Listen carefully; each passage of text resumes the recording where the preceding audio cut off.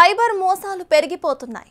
ఆన్లైన్లో పరిచయమై ప్రాణాలు తీస్తున్న దుర్మార్గులు ఒకవైపు డబ్బులు ఆశ చూపి దోచుకుంటున్న కేటుగాళ్ళు మరోవైపు.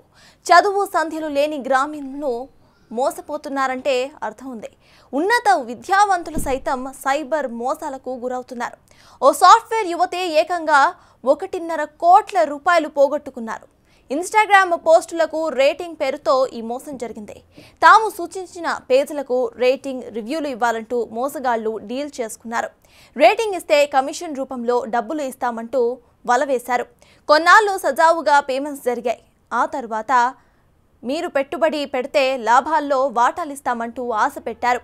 వాళ్ళ వలకు చిక్కిన సాఫ్ట్వేర్ ఉద్యోగిని ఏకంగా కోటిన్నర రూపాయలు పోగొట్టుకుంది. పోలీసులకు ఫిర్యాదు చేసింది ఆవిడ.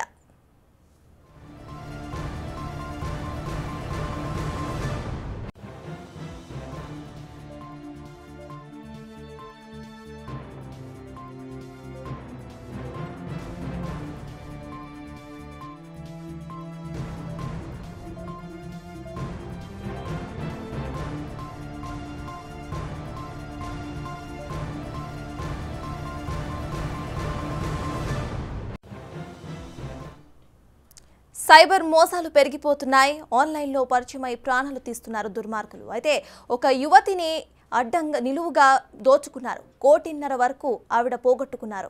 అయితే దీనిపై మరింత సమాచారం మా ప్రతినిధి సైతులు ఫోన్ లైన్ ద్వారా అందిస్తారు. సైతులు ఎస్ సర్తాజ్ సైబర్ క్రైమ్లో కొత్త కొత్త మోసాలు వెలుగులోకి వస్తున్నాయి. తాజాగా ఇన్స్టాగ్రామ్లో కూడా ఏదైనా కొన్ని పోస్టులు చేసి వాటికి రేటింగ్ ఇస్తే డబ్బులు ఇస్తామని చెప్పేసి కూడా ఒక హైదరాబాద్లో ఒక సాఫ్ట్వేర్ ఇంజనీర్ వాళ్ళని మోసం చేయడం జరిగింది. అయితే ముఖ్యంగా వాళ్ళు కొన్ని పోస్టులు చేసి వాటికి ఆ రేటింగ్ ఇస్తే ముందుగా వాళ్ళు కొంత డబ్బుని వీళ్ళకి ఇస్తున్నట్టుగా తెలుస్తుంది. అయితే ఆ డబ్బులు ఇస్తున్నట్టుగా తెలియడంతో వాళ్ళు ఇంకొంచెం ఆశతోటి ఇంకేమైనా ఉన్నాయా? వాటి కూడా మీరు రేటింగ్ ఇస్తామని చెప్పేసి వీళ్ళు తెలియకుండా అమాయకంగా వాళ్ళతో మాట్లాడడం వాళ్ళతో కాంటాక్ట్ కావడం తోటి వాళ్ళు అంటే మీరు కొంచెం ఇంకా పెట్టుబడి పెడితే ఖచ్చితంగా వాటికి అనుగుణంగా కూడా ఇంకెక్కువ డబ్బులు ఇస్తామని చెప్పేసి వాళ్ళు ఇదే ఆధునిక అదునుగా భావించి వాళ్ళతోటి పెట్టుబడి అంటే మొదటగా వీళ్ళు డబ్బులు ఇవ్వడం తర్వాత వీళ్ళ నుంచి వాళ్ళు డబ్బులు తీసుకోవడం. ఇలా తీసుకున్న తర్వాత వాళ్ళు తర్వాత కాల్ చేసిన తర్వాత వాళ్ళకి తిరిగి డబ్బులు ఇవ్వకపోవడం తోటి ఇది కొత్త ఖచ్చితంగా మోసం అని చెప్పేసి గ్రహించి ఇప్పటికే దాదాపుగా తాజాగా మనం చూసినట్టయితే ఒక